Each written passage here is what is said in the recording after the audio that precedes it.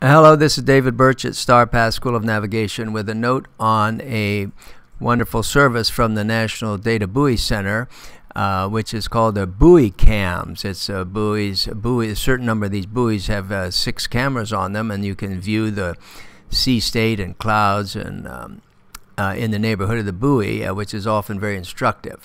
And so here's how the here, this is just a note on how this what this looks like and easy to try, easy to do.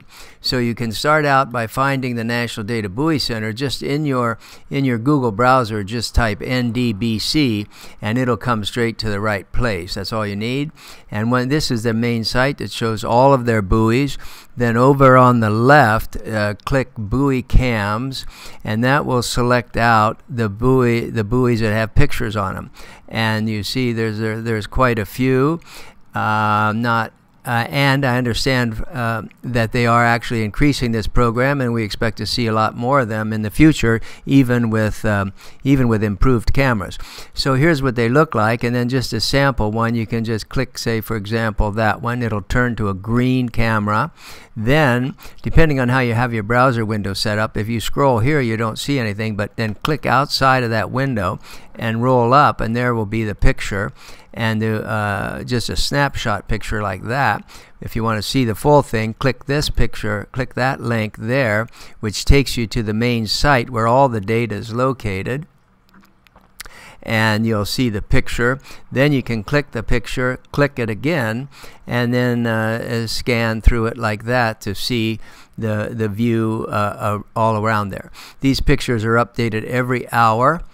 Um, the, the picture on the left will always have a bearing in it. This is a bearing that represents uh, somehow the central view of this camera. Not necessarily spot on right at this location, 52, but somewhere in here is about 052 true. Then each of these cameras to the right are 60 degrees more uh, looking around the horizon. And uh, you can go back and, and uh, go back and look at various ones. Here's one over on the, on the um, on the west coast. Same same sort of thing. And here you see the can, direction to the sun is here. It's nice and, and interesting. You study cloud patterns at sea. That if we're uh, landlocked at home, this is a way to get a very nice view of what the sky and ocean looks like at sea, especially when a storm is going by. That's uh, one of the focuses that we've had uh, lately. Um, and we have other articles on that and I'll put a link in the descri description here about that uh, article that we discuss this program in more detail as we watch uh, Florence or Hurricane Florence go across this system here system of these buoys. Now I want to look at this uh, feature here. This says Get BuoyCAM uh, Stations KML. That's a tool that is used in conjunction with Google Earth. So you have to install Google Earth on your computer. Then when you click that, it will download this file uh, called BuoyCAMs KML. It's got a 1 here because I already have it downloaded. So it's there. Cancel. So I'm not going to do it again. So once you have that, you can go to your, um, if you have Google Earth already installed, you can go then to that in your downloads folder and literally either, either double, uh, let me get Google Earth here, Google Earth. Then, oh, and I have it already showing.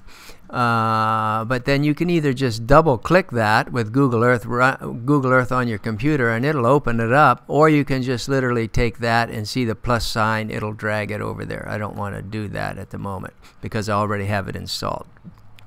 And then once you have it installed, that'll be a link over here and it'll be in your temporary places and then when you close your computer you say save and then it'll move it up to the permanent places.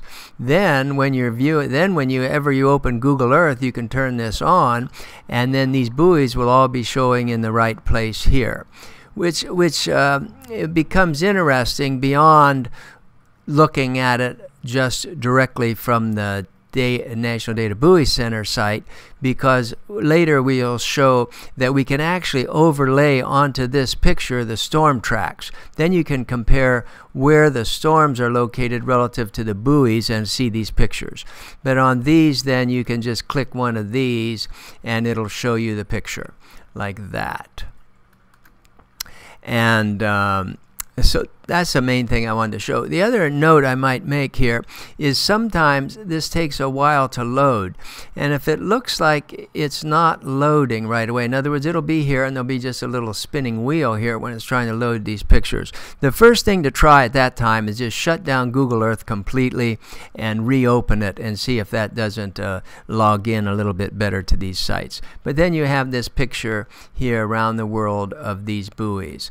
And the the maps that you would compare to if you want to compare this to an actual storm is you go to the National Hurricane Center and uh, these are the maps where they now there's nothing going on at the moment here but um, uh, but then and later we'll show how you can overlay these maps onto the Google Earth as well. Or, like here, for example, is, is from the archives. If I'm here at the Hurricane Center, and then you go to Archives, go to here, Tropical Cyclone Advisories, go to the storm Florence, change to Graphics, here and then go to five day with a line like that and then you see all then you see their whole record of what they had. Each of these advisories are coming out every six hours number 10 11 12 13 you know and so forth. And these are the pictures. These are let me just stop that. Stop. These are the pictures that we can later overlay overlay onto um, on, let me just go for a little bit further here and just show you here. See now there. Now that picture will be live when an actual hurricane's in this vicinity. And so what you might do is you can actually, well, this will be in a different part of their website. I'm looking at the archives now, but this will be a live picture. And then you can just save that. There's several things you can do. You can just save that picture and keep in mind just where the lat longs are, where the buoys are, and do it that way. That's a real simple uh, a simple method. In other words, you don't need Google Earth at all. You could just go to Hurricane Center, print this picture out, then go to the National Data Buoy Center and look for the buoys that are in this path and, and then watch them that way. There's other ways to automate it, and then we'll discuss we'll discuss that later on. And um, and then I, I, again in the in the description here I'll have an, a note on uh, where we did this uh, with the Hurricane Florence going by and I'll leave that there for now.